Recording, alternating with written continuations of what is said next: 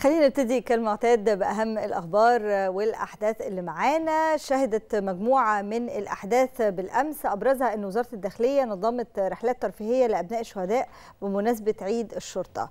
والمكتب البابوي للمشروعات بالكنيسة دشن صفحته الرسمية على فيسبوك. كمان معانا تصنيف Webometrics العام اللي قال إنه تم إدراج حوالي 79 مؤسسة تعليمية مصرية في نسخة يناير 2024 ووفد مكتبة الكونجرس الأمريكي بالقاهرة أشاد بجناح المجلس القومي للمرأة بمعرض القاهرة الدولي للكتاب.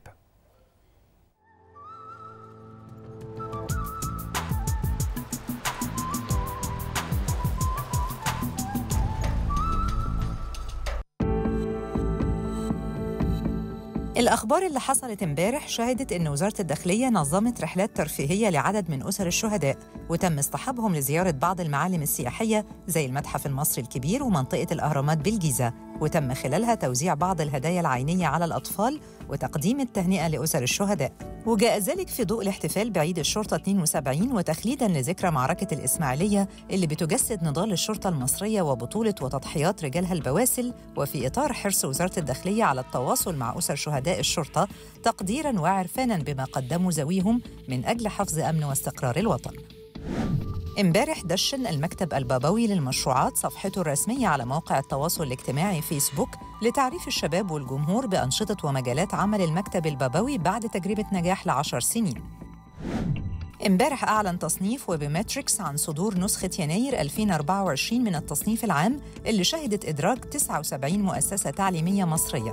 التقرير أوضح تواجد ست جامعات مصرية ضمن أفضل ألف جامعة على مستوى التصنيف اللي بيضم 32 ألف مؤسسة تعليمية من جميع أنحاء العالم. وجاءت جامعتي الإسكندرية والقاهرة ضمن قائمة أفضل 500 جامعة. وأظهرت نتائج التصنيف تقدم جامعة الإسكندرية في المركز الأول بين الجامعات المصرية بالحصول على المركز 492 على مستوى العالم.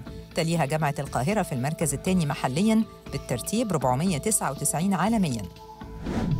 امبارح واصل المجلس القومي للمرأة استقبال ضيوف المعرض وزائريه في الجناح المخصص له في منطقة بي 54 بقاعة 3 في معرض الكتاب. واستقبل جناح المجلس الدكتور راستين زاركر مدير المكتب الإقليمي لمكتب مكتبة الكونغرس بالقاهرة.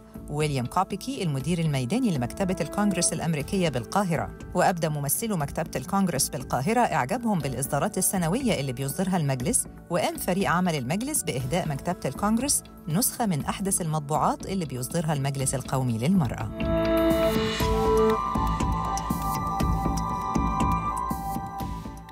نروح مع حضراتكم لخارج القاهرة وجولة مع أخبار المحافظات اللي شهدت الانتهاء من تغيير مواسير شبكة الصرف الصحي تحديدا بقرية نفيشة في الإسماعيلية.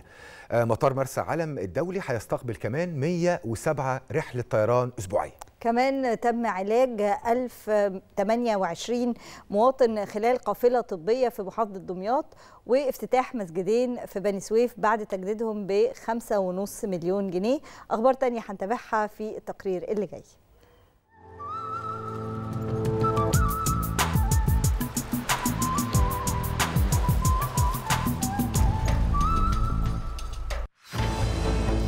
محافظات مصر شهدت مجموعة من الأحداث. أبرزها أن الوحدة المحلية لقرية نفيشة التابعة لمركز ومدينة الإسماعيلية انتهت من تنفيذ أعمال تغيير جميع مواسير الصرف الصحي المتهالكة واستكمال تغيير مواسير الصرف الصحي الواصلة بين العمارات ومطابق الصرف الصحي بالمنطقة لتوفير حياة كريمة للأهالي. مطار مرسى علم الدولي هيستقبل بداية من اليوم السبت وحتى نهاية الأسبوع 107 رحلة طيران دولية أوروبية أسبوعية وبيتم تطبيق الإجراءات الاحترازية والأمنية من قبل سلطات المطار على الوافدين فور وصولهم أرض المطار.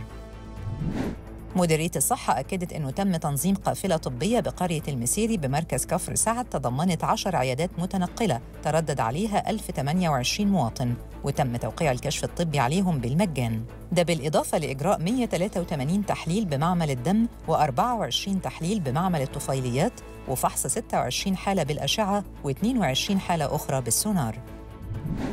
مديرية الأوقاف في محافظة بني سويف افتتحت مسجدين بمركز ناصر ومركز بني سويف بعد إحلالهم وتجديدهم بمبلغ 5.5 مليون جنيه.